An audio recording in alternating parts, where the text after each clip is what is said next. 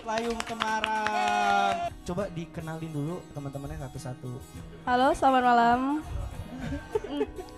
Eh, kita Layung Temaram. Saya sendiri Ega sebagai vokalis sama gitar. Yang di sana Mas Galang megang silofon sama sin. Terus gitar, ya nyanyi juga. Terus Mas Danu backing vokal sama gitar. Terus ada Fazar atau Boco. Itu main gajon sama git- drum. Untuk formatnya sendiri emang begini atau ini belum format komplit? Apa ini udah sudah, sudah komplit nih? Ini udah komplit. Udah komplit. Udah komplit. Wah, mantap ini. Konsepnya sendiri, konsepnya band ini sendiri tuh apa? Kayak mengusung tema apa atau genrenya apa? Kalau kata orang yang ngeliat sih Apa tuh? katanya cenderung folk gitu. Folk. Tapi ya sebenarnya kita juga bawain musik juga nggak begitu ngerti sih sebenarnya ini musik kayak gimana. Ya yang penting bikin Yang penting ya udah kita main yang apa kita suka aja sih. Wes mantap. Ini dia mainin apa yang mereka suka.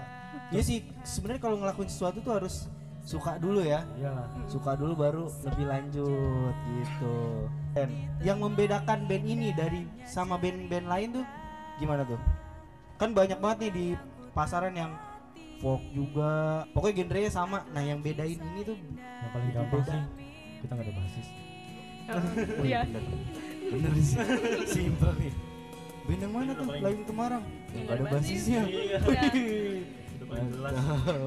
Dengar-dengar tadi nanya sama salah satu krunya tuh eh, Layung Temaram tuh lagi bikin album tahun ini launching bener ya Amin. Iya. Bocoran ada berapa lagu dan kan pasti di tiap album tuh ada Hmm. lagu jagoannya tuh Iya. ya kan Itu berapa lagu? tujuh Ah, tujuh. Kita rencana mau di album itu ada tujuh track yang kayak single kita tuh uh, judulnya Pulang Rumah. Itu juga kebetulan ya hari ini bakalan launching video klipnya. Boleh loh tepuk tangan launching video klip wah berarti udah nggak butuh model Ya, udah, udah terlanjur sih. kita bertemunya terlalu telat ini Mungkin lain kali. Enggak itu sih. jadi single jagoan itu Iya. Sementara ini. Kenapa? Apa itu menggambarkan kalian banget? ya dari liriknya menggambarkan kita banget terus musiknya juga kita yang paling asik terus nggak tahu kenapa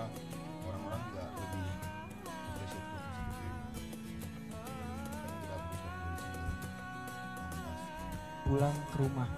Itu bisa didengerin di SoundCloud-nya apa? Ya, SoundCloud-nya di Layung Temaram, terus di Instagram, eh di Instagram di YouTube YouTube. Layung Spasi Temaram. Udah sih kalau mau denger lagunya itu sih. Instagramnya apa? Nah, Instagram @layung_temaram. Itu info-info. Ya, info Kalian gig bakal gig manggung kita. di. Hmm. Semua bakal diupdate di situ. Di follow ya, jangan lupa. Yaudah, langsung aja. Lagu kedua dari Layung Temaram.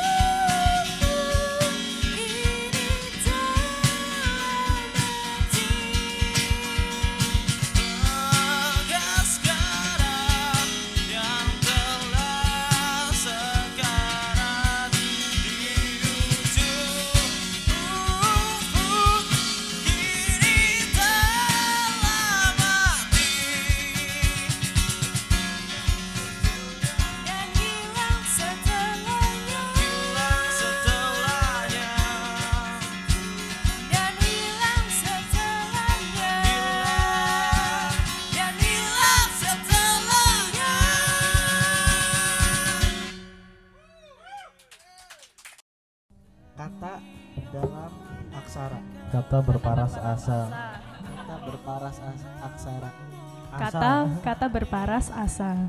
Kata berparas asal. Iya, asa. Asa harapan harapan. Oh. Iya. Ini ada yang unik sebenarnya, tapi mereka ceri- harus cerita dulu nih. Kan kalian dari jauh-jauh di Surabaya nih. Hmm? Dan yang kenapa kok eh, bisa nyasar ke kita anak negeri itu? Gimana asalnya tuh? Ini Surabaya nih. Eh, tujuannya ke Jakarta kan? Hmm. Nah, ini bisa mampir nyasar ke Depok tuh gimana ceritanya coba? Gimana ceritain. ya? Itu dulu yang tahu. Ini tuh. masnya tadi Heeh. cerita nih. Itu yang tahu tuh. Gimana mas? Nyasar ke Depok tuh gimana? Gak nyasar sih. Gak nyasar Ya, ya? di, di map ada tadi. Di Maps ada.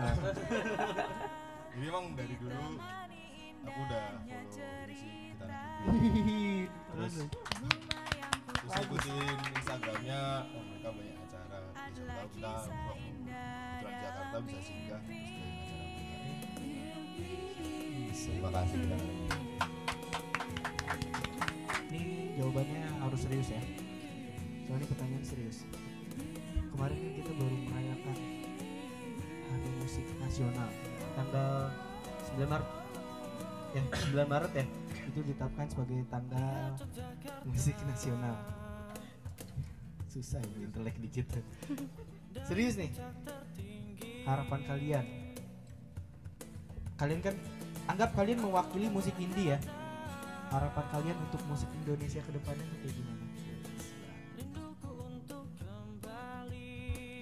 Kalau saya sih lebih ya kan kami dari musik indie kayak ngelihat ngelihat musik yang mainstream sekarang itu di Indonesia khususnya itu kayak bener-bener terkotak banget. Maksudnya bener-bener mereka mereka nggak provide apa yang masyarakat butuhin gitu. Mereka cuma bener-bener mikirin uang doang. Dan jadinya itu bikin ya itu yang bikin masyarakat kita nggak berkembang tentang musik. Jadi ya mudah-mudahan bisa mereka lebih terbuka. Jadi juga masyarakatnya terus bisa lebih berkembang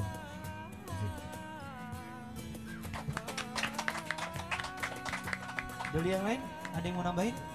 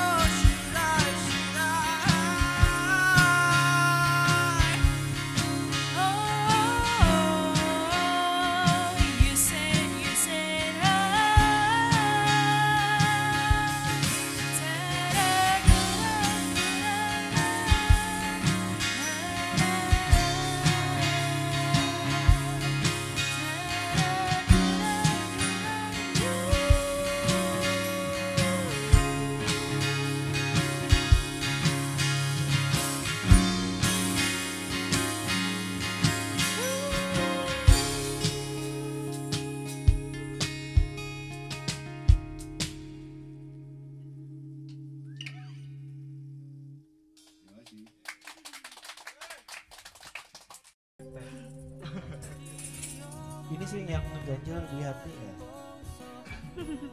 Nama Layung Temaram tadi belum dijawab. Itu artinya apa Layung Temaram Eh, kalau arti perkata layung itu sebenarnya guratan-guratan jingga di langit. Jadi kayak kalau pas lagi sunset itu ada kayak batas di mana langit kayak masih terang sama atasnya itu udah gelap oh iya. Jadi kayak garis-garisnya itu itu namanya layung. Terus kalau temaram itu ya keadaan di mana tempat itu redup. Jadi ya. Garis-garis tempat redup. Enggak enggak. Jadi ya berarti kayak uh, sunset kondisi gimana kayak sun- sunset terus kayak redup gitu. Jadi oh jadi kayak syahdu gitu maksudnya. Enak banget gitu ya. Tempat PW itu. Kayak gitu. Sunset ngopi nah. Dalam sih artinya nih. Oke kita sambut saja penampilan dari Layung Temaram dengan lagu keempatnya yang berjudul Bunga Kertas. Selamat menikmati